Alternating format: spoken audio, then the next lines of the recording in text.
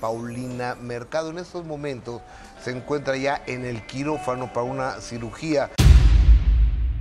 La conductora del programa televisivo Sale el Sol, Paulina Mercado, ha compartido valientemente con sus seguidores un desafío significativo en su salud. A través de un conmovedor video en sus redes sociales, anunció que será hospitalizada para someterse a la extracción de un tumor en la cabeza.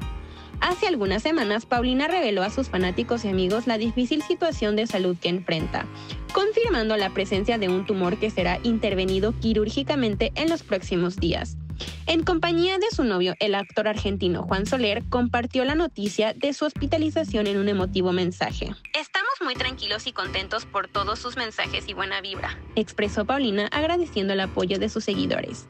En un video, Juan Soler también se unió para agradecer el cariño recibido y revelar que estaban ingresando al hospital. Vamos a ingresar a mi nena al hospital. Qué lindos son al estar tan pendientes de mi amada Pau. Compartió Juan, destacando la solidaridad de los seguidores. Paulina explicó que su pareja será la fuente de actualizaciones sobre su estado de salud, ya que permanecerá internada durante algunos días después de la compleja intervención quirúrgica.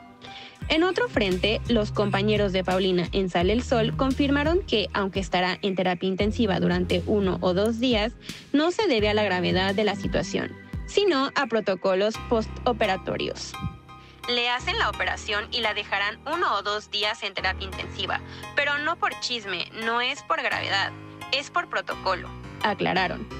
La fortaleza de Paulina y el apoyo que ha recibido reflejan una comunidad unida en respaldo a la conductora mientras enfrenta este desafío en su salud.